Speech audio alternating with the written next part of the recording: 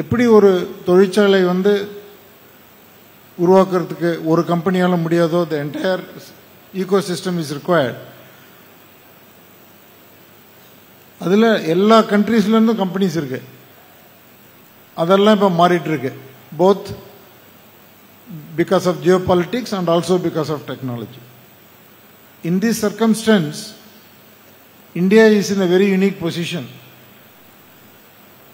ஏன்னாக்கா ஆர்டிஃபிஷியல் இன்டெலிஜென்ஸுக்கு என்ன வேணும்னாக்கா டேலண்ட் வேணும். இந்தியாவில் தான் மேக்ஸிமம் டேலண்ட் இருக்கு.